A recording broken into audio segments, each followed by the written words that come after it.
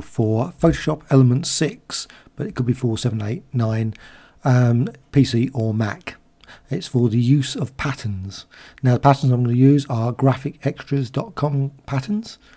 I'm just going to go now. File, to load them you just use the file command.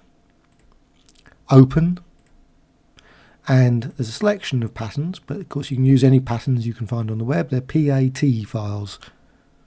Right, color, patterns, PAT, just going to select those, open. Now they're loaded, and I'm just going to go with the most obvious one is the layer, new fill layer pattern.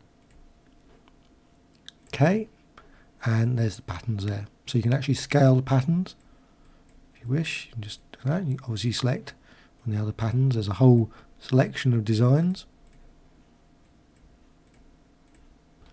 So I'll just select that one. Of course, you can also reduce them. They're seamless designs. Click OK at that point. Now, of course, you can actually create another one if you wish. You, you can just create multiple layers. So another new fill layer, you can do another pattern. So you've got say two layers and then you can use say blending modes to so I've just created that then you can just go say saturation you can see vivid light you can actually see different designs just by using things like that. Right I'm just going to quickly get rid of that one don't want that at the moment.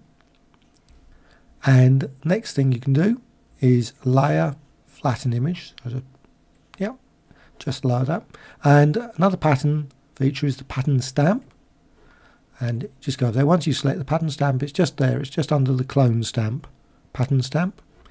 And the patterns I've already installed are available there. So it's just a drop down here.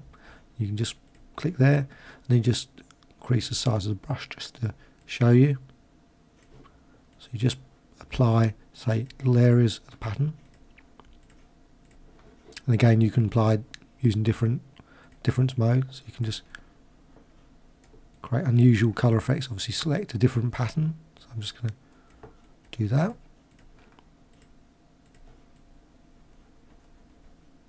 and you can also use the fill layer pattern and again you can select pattern there the one difference with this is you can't actually scale the pattern so you just get as is so click OK so it just fills up the entire document. Of course, you can use a selection to strain the area of the pattern.